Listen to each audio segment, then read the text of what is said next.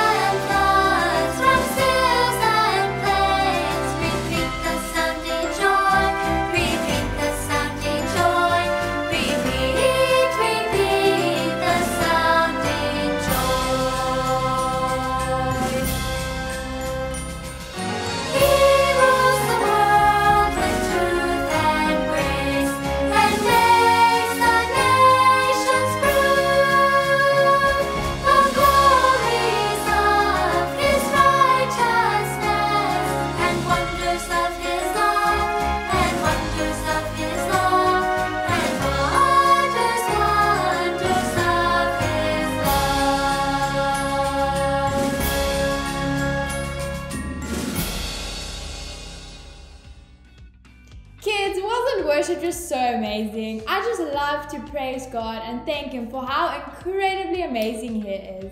So, guys, we just worship, and I have a question for you. What is worship? Hmm. Oh, well, I think worship is singing. And dancing? and doing something nice for someone or for God, maybe.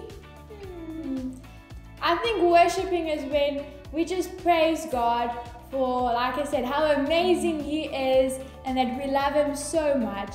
So, kids, why don't you guys join me and we'll talk about worship a bit more and why we worship, how we can worship, and what makes worship so special.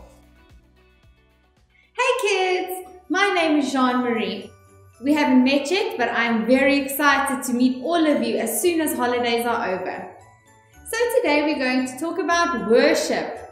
Do you know what worship means? Well, if you don't, we are going to discuss it today.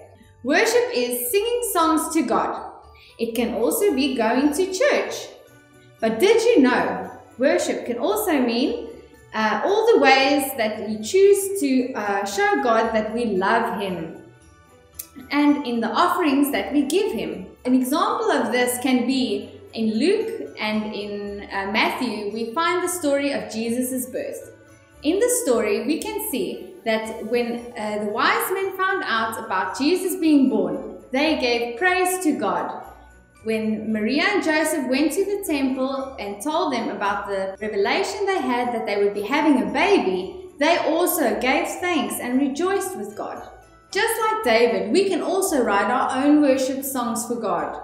But worship is not just singing or playing instruments. Worship comes through in the actions we do, the emotions we feel. It ultimately becomes a part of our faith.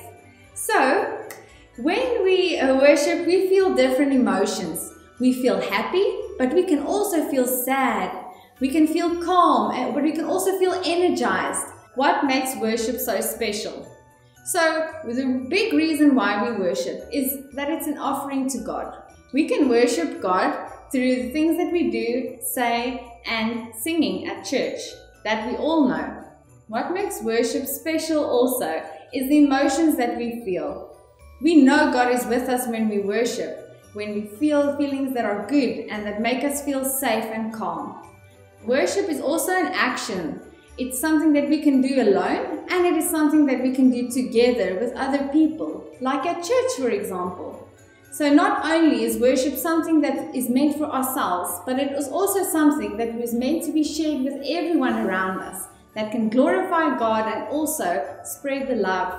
So now let's look at this video so we can understand gratefulness and worship a bit better.